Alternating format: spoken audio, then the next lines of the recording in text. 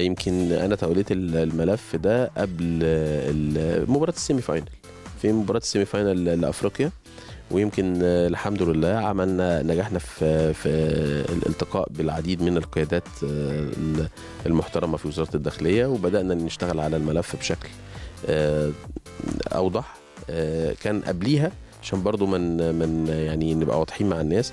كان قبليها في لجنة لجنة دي خاصة لمناقشة الملف بتاع الجماهير والحقيقة أجاد فيها المهندس خالد مرتجي وعمل تصور كامل الحقيقة بال- باللجنة بتاعته واشتغل الحقيقة على الملف. يمكن بعد كده آه، بعد أزمة كان مباراة منانا والمباراة اللي بعديها يمكن اتشكلت لجنة لإدارة المباريات. يمكن أنا موجود فيها رئيسها ومعايا الأستاذ خالد الدرندلي أمين الصندوق ومعايا الأستاذ إبراهيم الكفراوي آه، كعضو مجلس إدارة.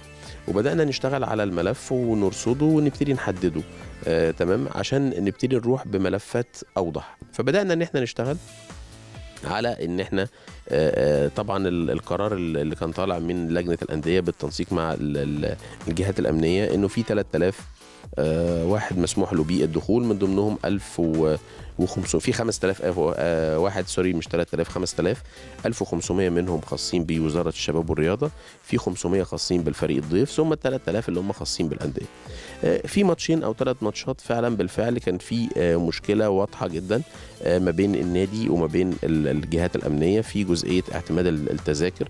آه، النادي الأهلي حابب إن الموضوع يبقى خاص بجماهيره مع أعضائه ويمكن الجهات الأمنية كانت شايفة ان في التوقيت ده محتاجه يبقى الكلام ده خاص بأعضاء الجمعية العمومية. فقط قدرنا إن إحنا نوصل إلى حلول آه، ما بيننا وما بين الجهات الأمنية وبدأنا نتحرك عليها. دلوقتي الحقيقة بقى مسموح للجماهير إنها تحجز على السيستم ومسموح للأعضاء برضو إنها تخش آه، من خلال برضو آه، كارنيهات العضوية اللي بيتاخد منها برضو صور البطايق. يعني ما يتم بنفس الطريقة. وبنفس الإجراءات على فكرة. إحنا بقى رايحين لحاجة أهم الفترة الجاية عشان طالبين إن جماهيرنا تزيد وخصوصا إن عندنا مباريات أفريقيا. فيمكن النهارده عندنا اجتماع يمكن ده الاجتماع الثالث خلال أسبوع مع مندوب مندوبين من وزارة الدفاع الحقيقة آه، وشركة فالكون وشركة اللي عملت البرنامج بتاعنا. إن إزاي نتأكد إن الشخص اللي حجز على السيستم بتاعنا يبقى هو نفس الشخص اللي دخل النادي والفترة الجاية إزاي إن إحنا نقعده في المكان اللي مسموح له إنه يقعد فيه. يعني بالمعنى الأدق إن المفروض اسمه كمان يبقى على الكرسي اللي هيقعد فيه. إحنا بدأنا كان في حوالي الفترة اللي فاتت دي 11000 واحد كانوا مسجلين أسمائهم وما كانش طلع لهم كارنيهات بدأنا نفعل طلوع الكارنيهات قدرنا الحمد لله إن إحنا نطلعها. المفروض إن هيتم التسليم بدءا من بكرة. تباعا ننتهي من التسليم كله أعتقد كله بكتير أسبوع إن شاء الله. إحنا المولى هيتسلم من خلال فوري هيتبعت رسالة نصية لكل واحد طلع له الكارنيه بتاعه.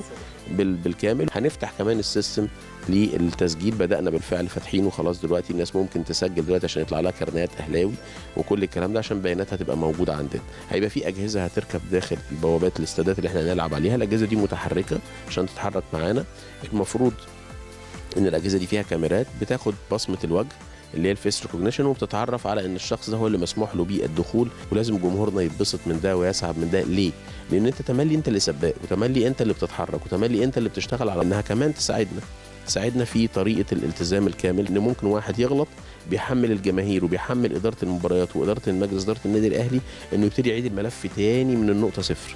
وده اللي إحنا مش عايزينه.